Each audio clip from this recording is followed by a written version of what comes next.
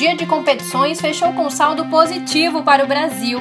Cada uma das sete duplas masculinas jogou duas vezes e três delas estão invictas. As outras quatro tiveram pelo menos uma vitória cada.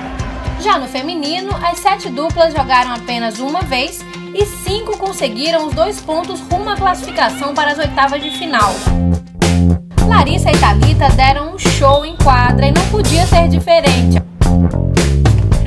É muito bacana jogar aqui, eu gosto muito.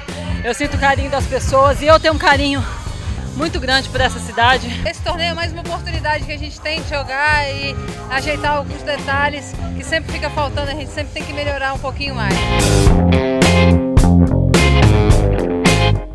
É muito emocionante jogar aqui em casa, torcida aí, é muito legal.